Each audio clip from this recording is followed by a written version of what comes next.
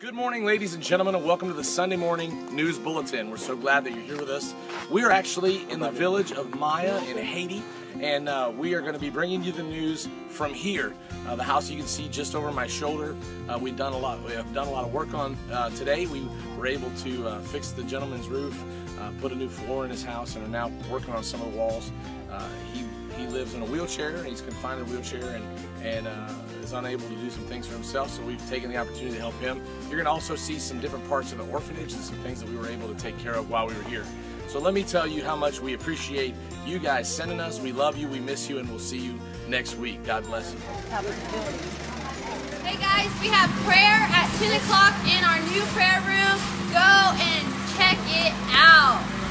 Hey everybody, don't forget, Sunday, October 26th and 27th, Mr. Ivan Tait will be here. Sunday, he'll be here at 10.30 a.m. and 6 o'clock p.m. And Monday, he'll be here again at 10.30 a.m.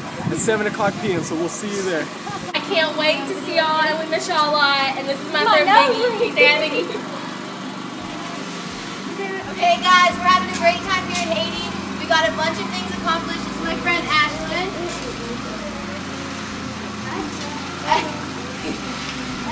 Appreciate all your prayers and we can't wait to see all of you guys soon.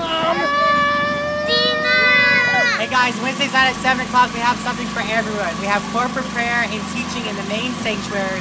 We have Firehouse Youth Ministry right across the uh, street, well, the grass area. And then we also have Kids Club. So make sure you join us Wednesday night at 7 o'clock. Hey guys, I miss you. Thanks for praying for us. Hey mom, I love you. Thank you. Thank you.